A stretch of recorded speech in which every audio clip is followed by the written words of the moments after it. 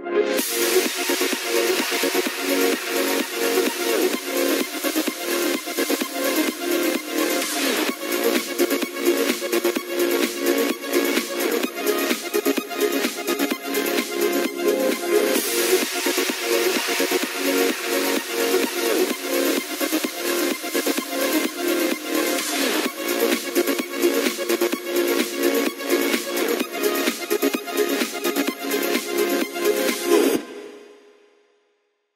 Poštovani gledalci, dobar dan. Dobrodošli u popodne s vama. Nakon pregleda najznačajnijih vijesti idemo i na razgovor sa veoma dragom gošćom. Ostanite sa nama.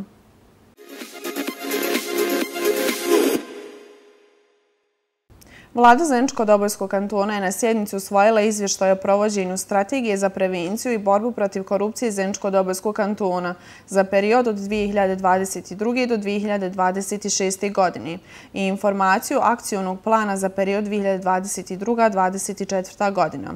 Gradska uprava Zenca nastavlja sa kontinuiranim unapređenjem infrastrukturi na području cijelog grada, a shodno tome uspješno su završeni i radovi na sanaciji dijela ulice Crkvice. Kako je pojašnjeno iz službe za vodoprivredu, putnu infrastrukturu i mjesne zajednice, radi se o sanaciji ulice Crkvice u dužini od 270 metara u postojećoj širini. Ekoforum iz Zenice je organizovao jučer potpisivanje peticije s ciljem prikupljanja 2000 potpisa građana kako bi uputili zahtjev za donošenje zakona o građanskoj inicijativi zaštiti građana i aktivista Federacije Bosne i Hercegovine. Pored Zenice, ista peticija potpisivana je u još nekoliko gradova. U povod obilježavanja 131. godine organizovanog planinarstva u Bosni i Hercegovini, Planinarski savez Federacije Bosne i Hercegovine organizuje jednodnevnu planinsku turu na Vlašić, vrh Paljenik u subotu 23.9.2023. godine. Danas u našoj zemlji preovladava pretežno sunčano vrijeme uz postepeno na oblačenje u drugom dijelu dana.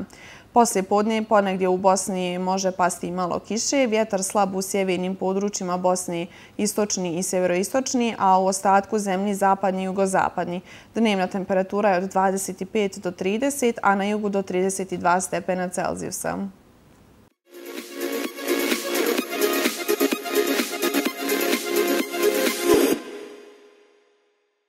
Na moje, a sigurno sam i vaše veliko zadovoljstvo, danas razgovaramo sa Eminom Hođić-Patković. Emina, dobar dan i dobro nam došli. Dobar dan, hvala na pozivu, bolje vas našlo. Sigurno sam da ste našim gledalcima već poznati, ali evo za sami početak našeg razgovora da nam kažete kako ste zapravo došli do toga da pišete knjige i postanite autorica šest vaših dijela. Pa, to je sve u mom životu nekako bilo spontano. Ja nisam nikad planirala da budem nikakva književnica. Ni dan danas, recimo, kad mi neko kaže ovaj, spisateljica, ja se zamislim, Bože, o kome on to govori, meni to uopšte ne uči na mene. Jer ja sam zapravo nastavnica, evo 25 godina radim u školi. A ne znam ni sama, nekako spletom tih okolnosti počela sam da pišem. Davno sam počela pisati, međutim, e, negdje 2014. godine odustala sam. I neke moje knjige, recimo Nevjesta koja je četvrta po redu, ona je još tada bila napisana.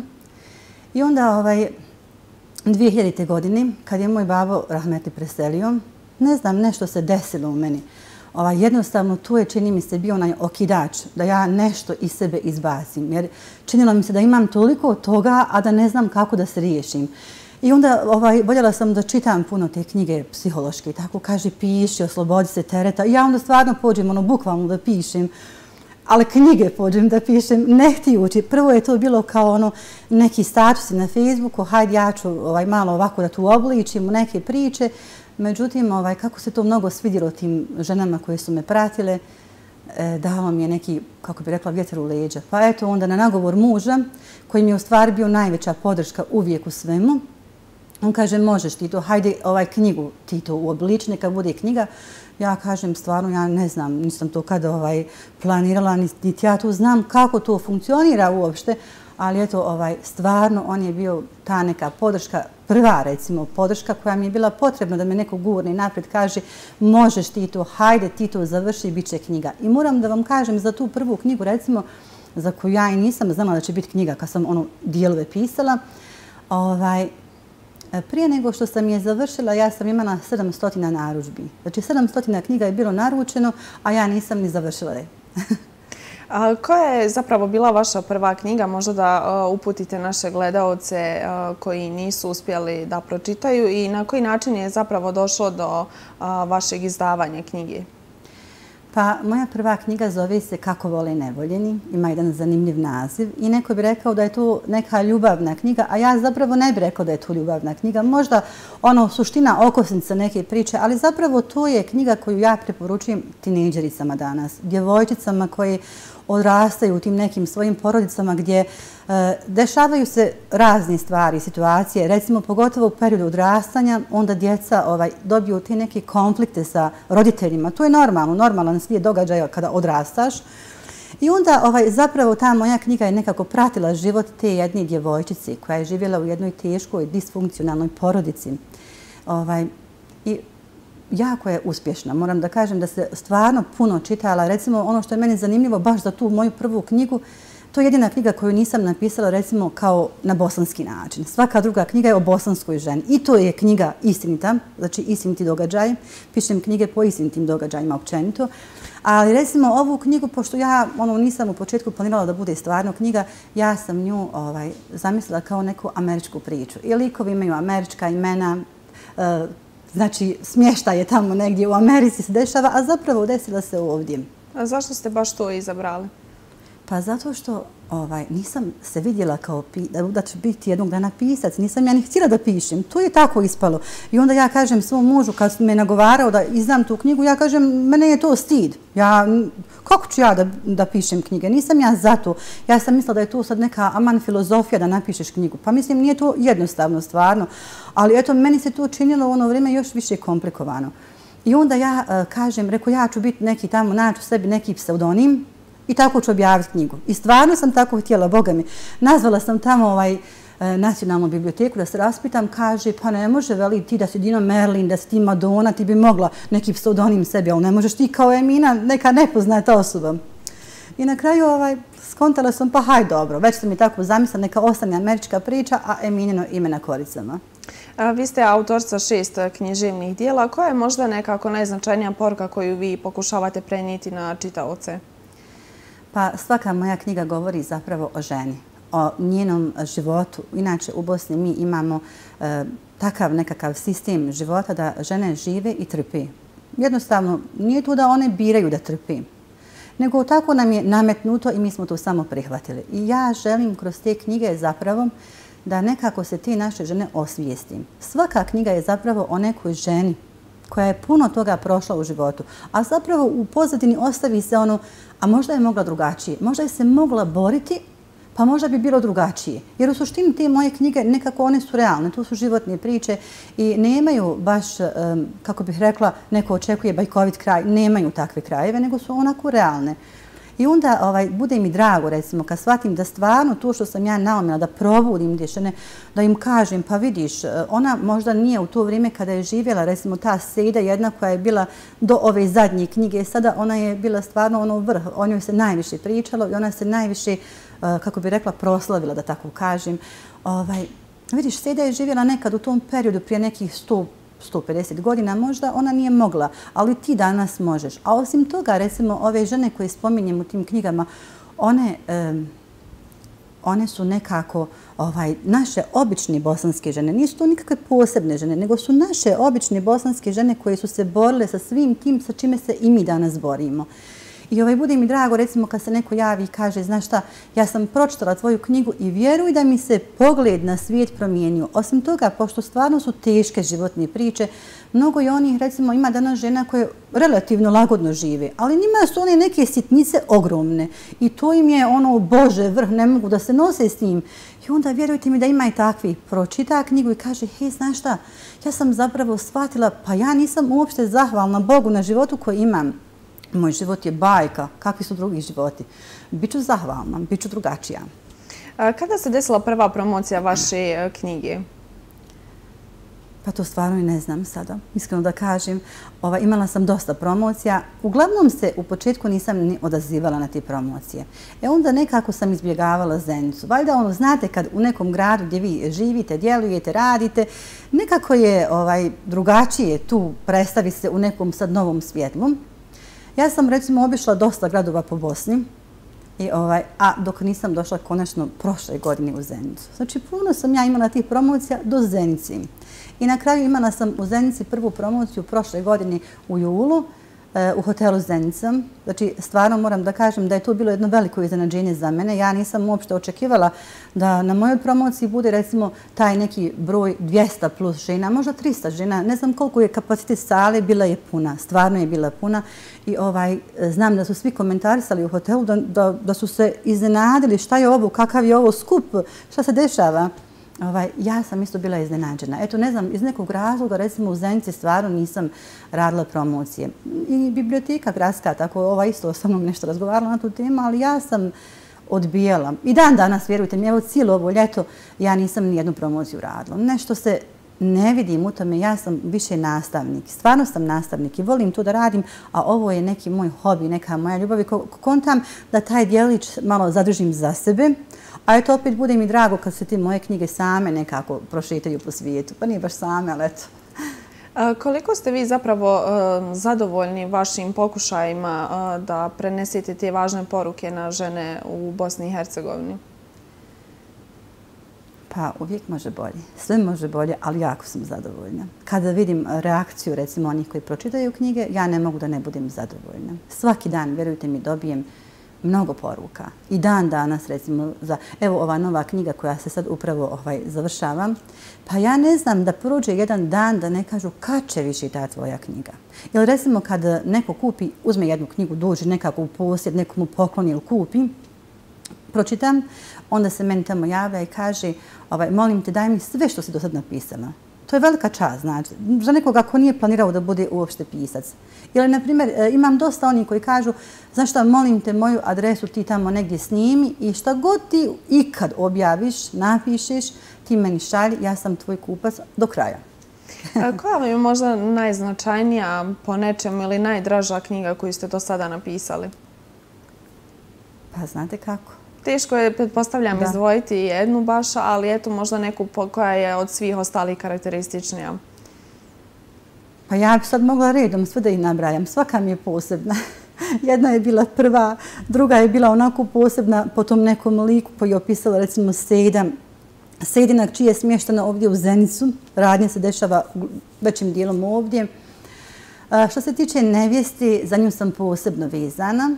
To je jedna knjiga koja mi je, recimo, nju sam napisala 2014. godini. Ona je možda bila prva, prvo ono što sam ja pisala u svom životu. Ona je posebna po, zbog mnogih stvari. E, poslije sam objavila tu jednu, većinom su romani, znači sama jedna zbirka priča. Nju sam isto tako skupila te neke priče koje sam e, pisala pa sam ih objavila. E sad, ova zadnja objavljena knjiga, Izgubljeni putokaz, ona je nekako, kako bih rekla, ako tražimo neko savršenstvo, naravno da ne postoji savršenstvo, ali ako govorimo o tom nekom pisanju koje, i da se sve onako sleglo, posložilo, rekla bi da je to izgubljeni put okazova moja zadnja knjiga. Već ste spomenuli da je u pripremi i vaša naredna knjiga. Da li nam možete možda neke detalje otkriti? Pa ona je, ovaj, recimo, drugačija od svih ostalih do sad knjiga. E, ja, inače, kad pišem knjige, uvijek stavim odlomke onako da zainteresujem e, tu svoju publiku, oni to čitaju i onda onako steknu neki dojam o čemu bi se to moglo tu raditi. Međutim, e, pošto ona ima stvarno zanimljivu priču, a ima zanimljivo i ime Inoča, ne znam da li znate šta znači zapravo Inoča. Možete nam reći. Mogu, naravno. Htjela sam prvo da je naslovim onako u prijevodu. Inoča znači žena moga muža. Znači, žena istog muža, druga žena. I sad, ovaj, pošto je stvarno malo, kako bih rekla, kontraverzan taj naslov, ja sam odlučila da uopšte ne dajem uvid e, u tu knjigu nikome dok ona ne izađem.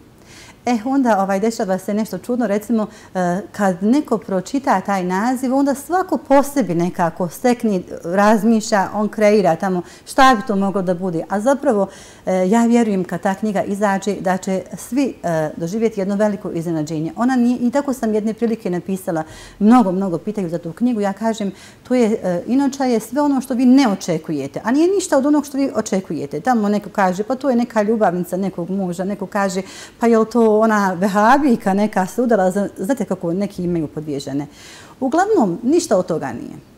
Znači ništa od toga. Jednostavno to je jedna posebna knjiga. I ja vjerujem da, ovaj, ne znam, mnogo je nestrpljivo čekaju. Nadam se da će opravdati to njihovo čekanje i povjerenje. Da li sada već od prilike možda znate kada bi trebalo biti izdanje knjige? Pa zbog nekih mojih privatnih ovaj, stvari koje sam imala ovog ljeta, ona je već trebala biti izdata, ali eto malo smo kasnili, pa bi trebala, ako Bog da, e, do kraja oktobra da bude u prodaji. E, da li će biti neka promocija o Zenci? Hoće. Da li možda to u biblioteci ili? Pa eto, imam nekoliko poziva, znači na različitim mjestima, pa vidjet ću gdje ću se opredijeliti. E, šta očekujete vi? Da li očekujete možda isti odziv kao kada ste imali na prvoj promociji u Zenci? Nikad o tome ne razmišljam. Meni je drago da dođu oni kojima se sviđa to moje pisanje, a da li je to broj 1, 10, 100, ja na to baš ne obraćam puno pažnje. Volim ljude i volim da me vole. I onda meni je sasvim dovoljno, količina mi baš nije bitna. Spomenuli ste da je vaša primarna profesija zapravo da ste vi nastavnica u osnovnoj školi. Ono što je možda bitno da spominjemo, a možda vi ne volite to previše ovaj, stavljati u prvi plan, jesu sve humanitarne akcije koje ste vi organizovali sa vašim učenicima i možda na neki način pisanje u nekih posljednjih par godina jeste bilo zapravo davanje oduška od svih tih e, stvari koje ste organizovali. Pa evo, e, dosta je e, tih aktivnosti koje ste vi organizovali, pa da sada spominjemo možda samo neke od njih koje su najznačajnije. Pa iskreno da kažem, ja stvarno o tom i ne volim da pričam, ali ponekad ovako, ovaj, kad spomenim nešto, onda ja vidim da je to onako dugoročno da je dobro recimo neko čuje, neko se ne može dosjetiti, neko bi volio da uradi nešto dobro, međutim ne može da se sjeti. I onda kad ti kažeš nešto, spomeniš, aha, mogao sam ja tako da uradim. I onda to bude nekako lančana reakcija i meni bude drago. E, vjerujte mi, recimo jedino iz tog razloga ja ponekad spomenem nešto što sam uradila u životu. Evo recimo, šta bih izdvojila? Jel? Izdvojila bih e, recimo bunar u Africi koji nosi ime naše škole. I to je zapravo, mislim, jedini bunar tamo u tim afričkim zemljama da, je ga, da ga je napravila uh, jedna škola. Ne baš škola, nego učenici koji su pohađali vjeronauku kod mene. Znači samo učenici kojima sam ja predavala. I to je nešto na što sam stvarno ponosna. Recimo, kad su nas pitali kako da se zove ovaj, taj bunar, ja sam rekla, pa naravno, zvače se osnovna škola Meša Selimović i to je stvarno za svakog od nas e, velika čast. I meni je čast da sam bila dio takvog jednog projekta. E, pored toga, svi smo bili svjesni situacije koja nas je pogodila e, u pandemiji koronavirusa. Vi ste također i tada organizovali e, humanitarne akcije sa vašim učenicima, ali pored toga vi ste organizovali i posjetu e, u Pazarićima. Pa da li sada evo da nam kažete nešto više i o tim posjetama? Pa jesam. Preko, recimo dok je bila korona, dok je trajala, razne aktivnosti smo imali humanitarni. Naši neki učenici stvarno su bili pogođeni time njihovi roditelji, pa smo se malo oko toga organizovali i kao škola, a onako ja sam preko Facebooka imala tu grupu preko koje sam u stvari veći dio poslova odrađivala i dan danas ta grupa postoji i dan danas odradimo poneku humanitarnu akciju, ali nemam više vremena kao nekad što sam imala.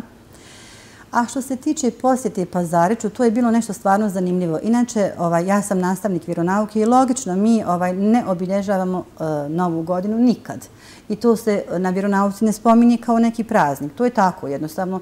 Ovaj, međutim, te godine, baš nekako pred novu godinu, pojavio se jedan spisak sa listom želja tih e, štičenika iz Pazarića. Bio je zanimljiv spisak, zapravo jako tužan jer to su bile neke stvari, neke sitnice koje mi svakodnevno koristimo. I zamislite, dobijete neki spisak, ne znam kom ga je donio, čini mi se neka učenica, ono, bukvalno, e, tvoja najveća želja, što želiš da dobiješ za novu godinu? Dobro, nije to moralo biti za novu godinu, moglo je biti za bilo koji drugi dan, ali eto, bila je nova godina.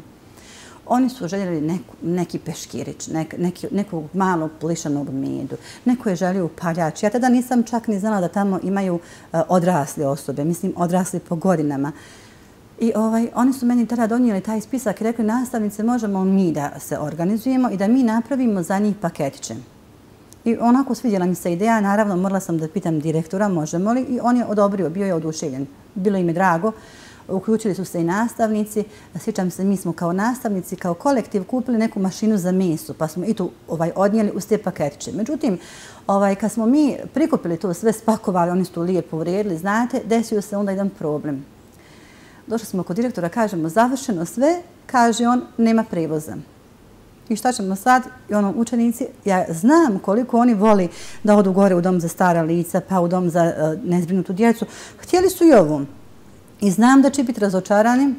Kaže on, ništa, poslaćemo aj brzom poštom. Zvaćemo da dođe brza pošta i neka odnesu tamo. Ja njima tako to kažem, ma nastavnice, pa ne može, pa dajte neku opciju. Pa koju opciju sad? Ovaj, nemam neku opciju.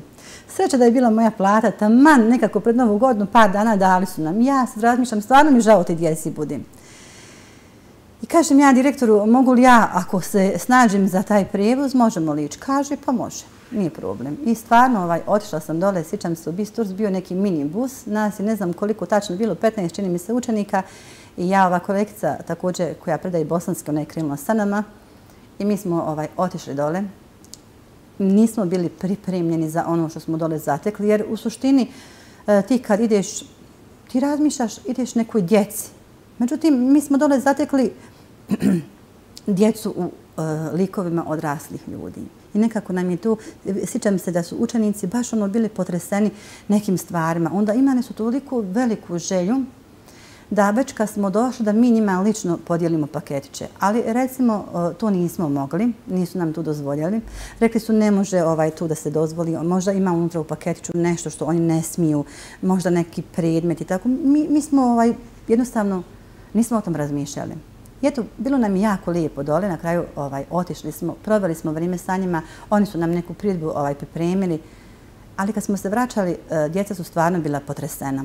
I e, znam da su još dugo vremena na časovima, recimo, spominjali su, e, govorili su, Bože, kako, kako smo mi nezahvalni, recimo, u našim porodicama, kako mi ne cijenimo ono što imamo, a vidiš kako neko živi i oni su djeca nečija bili, recimo, to je skroz drugačije neko stanje. Baš nam je bila velika pouka za kasnije taj odlazak u Pazarić. Koliko smatrate da su sve te aktivnosti doprinjele boljim i zdravijem načinu razmišljanja djeci koja evo konkretno pohađaju vaše časove? Pa, Ja uvijek kažem da, recimo, mi njima možemo da pričamo što god hoćemo, ali ako mi to njima ne pokažemo, to nema nikakvog efekta. Bar ja tako mislim.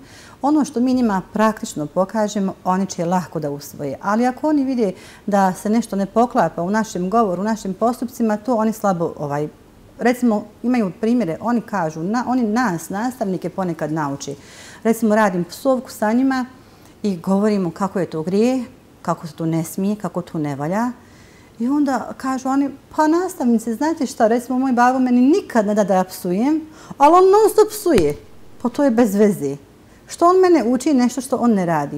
Ja onda stvarno se nekad zapitam, pa to je stvarno tako. Roditelji ne razmišljaju. Mi nastavnici onda uh, nalazimo se u nekom položaju da i ne možeš da kažeš nešto, da im pričaš ako oni to ne vide u svojoj kući. E onda makar da mi budemo nešto da im pokažemo. Evo recimo kroz tu sadaku radiš sadaku, hajmo dati neku sadaku pa onda ih učiš koja je vrijednost sadake i vjerujte mi kad oni to savladaju, kad oni to brzo savladaju, onda oni toliko budu ponosni na sebe. Nije im uopšte teško ono pola marke od jedne marke koju dobiju recimo za užinu, odvoje pola marke i svi su ponosni. Danas sam pojao čokoladicu, nisam kupio ovaj sokić, ali ja sam danas podijelio sadaku. I naučiš i vidiš rezultate i onda baš budeš sretan. A koliko vas to ispunjava kao osobu? Pa ja sam potpuno ispunjena. Recimo, volim te stvari, volim djecu, volim da radim sa njima i stvarno sam ispunjena time. Popravim dan, duđem, nešto mi se dogodi loše, ja duđem tamo u čioncu, čim pogledam njihova lica, kako oni tu uh, eh, ovaj, čekaju, kako oni razgovaraju, kako ih sve zanima, vjerujte mi, ja zaboravim sve ostalo. A koliko je teško na današnjem vremenu ostati pozitivan i prenositi možda neke pozitivne vrijednosti na djecu? Pa danas je jako teško prenositi vrijednosti. Pozitivan možda i nije teško toliko da budeš, ali teško je da uspiješ da uh, nešto postigneš tom svojom pozitivom. Danas je djeci mnogo ovaj internet učinio zla. Stvarno, uh, recimo, e, mnogo više slušaju internet nego roditelje, nego nastavnike. TikTok im je tamo nešto ovaj, postao neki fokus i jednostavno se na to nekako previše obaziru. Meni bude žao kad vidim koliko oni vremena provodi uh, Mada, eto, naše da se trudimo. A koliko ćemo uspjeti u tome, to je opet do Allaha Đelešanu. On to daje onoliko koliko je ovdje nama u srcu iskreno, ja vjerujem da mi toliko uspijemo. Hvala vam puno što ste izdvojili vaše vrijeme. Znam da ste zauzeti da smo se dugo ovaj, dogovarali za naš današnji razgovor, ali evo napokon je došao, hvala Bogu. A hvala vam što ste izdvojili vaše vrijeme, podijelili pozitivne priče sa nama i želim vam puno uspjeha kako kao nastavnici, tako i autorici. Hvala mnogo na pozivu, bila mi je čast.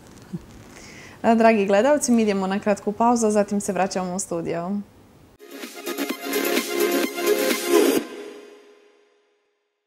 Dragi gledalci, to bi bilo sve u današnjem izdanju emisije Popodne s vama. Nadamo se da ste uživali u sadržaju naše emisije. Mi se vidimo sutra u isto vrijeme i na istom mjestu. Do tada ostanite uz program radio televizije Zenca.